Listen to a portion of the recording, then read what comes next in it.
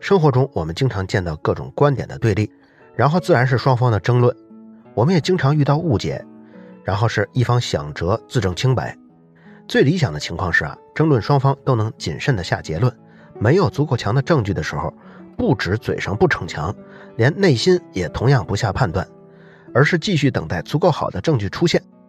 面对误解的时候呢，更是这样，因为通常来说，一个人是很难自证清白的。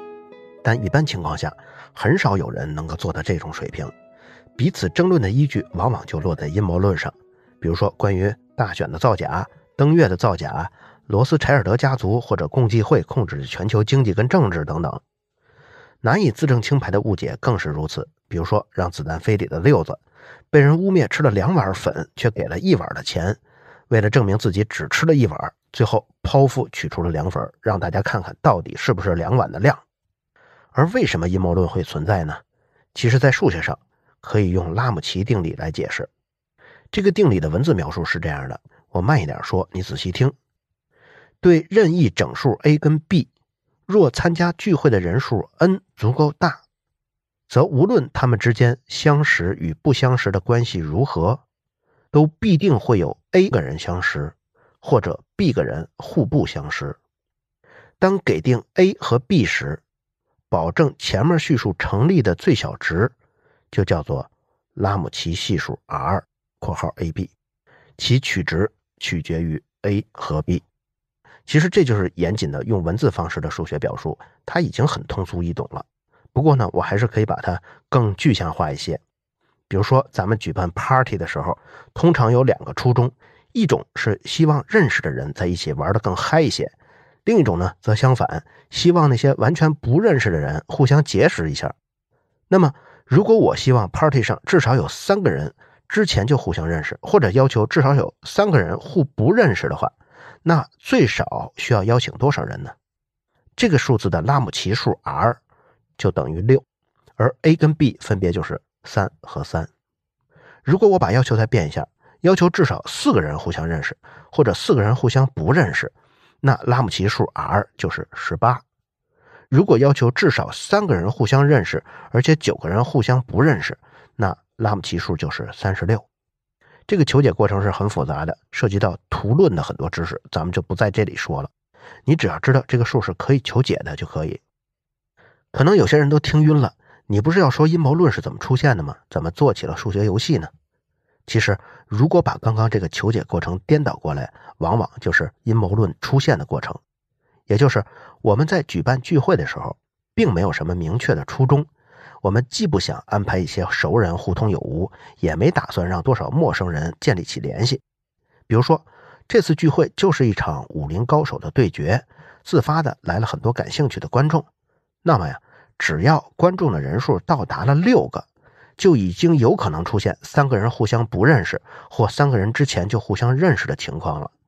同样的，来围观的人数到达了三十六，不但其中三个人之前互相认识或者不认识的比例大大增加了，而且九个人之前互相不认识的可能性，从数学上来说也不再是零了。总之，人数是一个基本盘，只要数值够大，这些人中就会冒出一堆又一堆熟识关系。如果我们用字母来代替人，你就能更好的理解阴谋论的诞生了。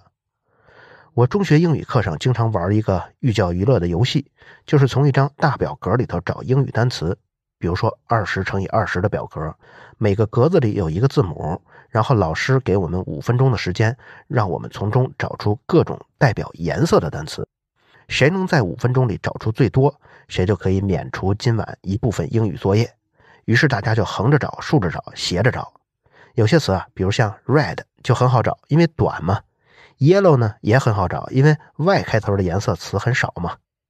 有的时候老师也会让我们找数字的英文。那这个表格老师是怎么做的呢？或者说这样的猜词游戏老师是怎么出题的呢？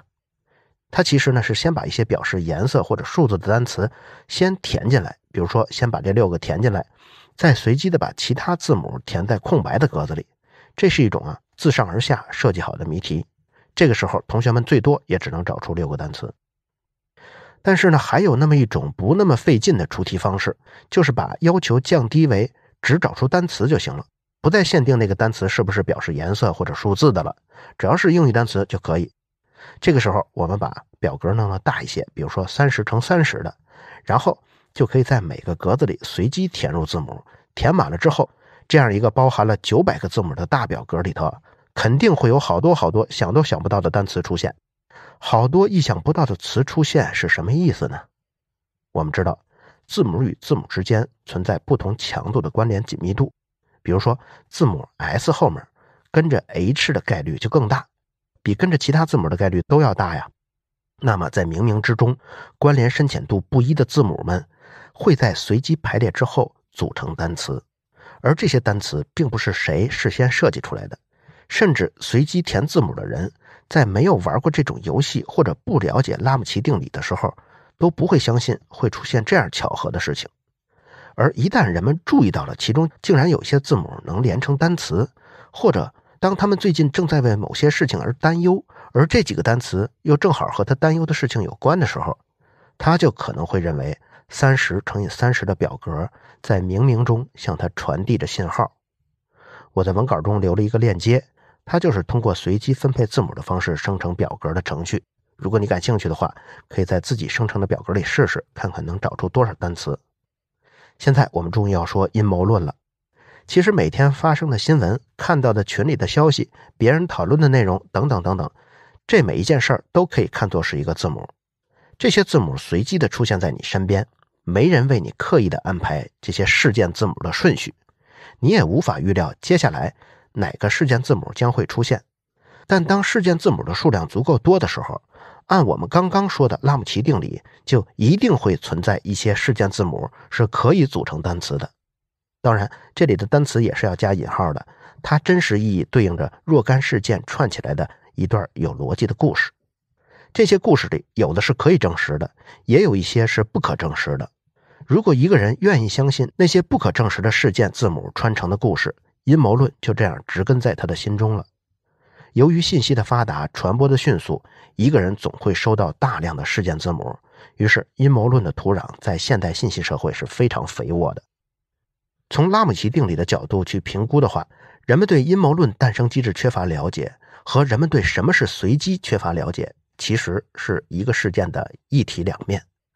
比如说，扔硬币看正反面这个过程，有一个人扔了两轮，每轮三十次，我把结果写在文稿中了。数字一是正面，数字零代表反面。因为太枯燥了啊，我就不挨个字符念了。我的问题是，其中有一轮啊，是他挨个扔出来的结果。还有那么一轮呢，是他嫌麻烦，并没有挨个的扔，而是按照自己以为的随机序列编出来的样子。那么你可以看看文稿，你认为哪一轮是他自己瞎编的呢？如果你感兴趣，可以点开文稿看看；不看呢，也不影响理解啊。我直接告诉你结果：第一轮扔出来的是真的，第二轮是他瞎编的。依据是什么呢？因为在第二轮里，零和一出现的频次太均匀了。而在第一轮里没有这么均匀，你可以看到第一轮末尾的结果啊，连续出现了六个零，看上去好像是不均匀似的，但其实这样的过程才更接近随机的样子。我举这个例子，并不只是想告诉你一般人对随机的理解存在偏差，而是要说，对随机过程深入理解和对阴谋论诞生的理解其实是一体两面的。这个道理的核心就是，只要规模足够大，我们总能在。本质上是随机排序中发现很多貌似是规律的东西，比如说六个连续的零，就会让人误以为存在什么冥冥中的规律让零排在一起。这个执念就源于人类演化出来的智力，因为一旦真的能够总结出规律，从一定程度上来说，人就能够在对应这类事件的一个狭窄领域里展现出预测未来的能力，而能预测未来的人将拥有无限的优势。所以，哪怕搭进去一些迷信和盲从的成本，也很可能抵不上偶尔那几次真的预测对了之后找到规律的巨大收获。那怎么才能避免阴谋论呢？一种方法就是缩小表格的规模，让信息的总和萎缩到连一个简单的 red 都拼不出来的地步。这时候，一切逻辑也就都关联不起来了，阴谋论自然消失。禁止信息的传播和信息的生产，就能起到这样的效果。但代价就是，这个文化区域里永远也发现不了具有含金量的信息和知识。另外一种方式就是扩大表格的规模，因为这样一来，阴谋论和反阴谋论的观点都会出现。至于哪个观点胜出，不用期待有那么一个无上力量来给予最终的裁决。我们只需要坐等持有不同观点的人照着自己认同的观点去行动，最后他们自然就会在经济资源、话语权资源、旁观者的支持与否定中分出个胜负。那些太过离谱的就会被挤压在边缘，无法扩散。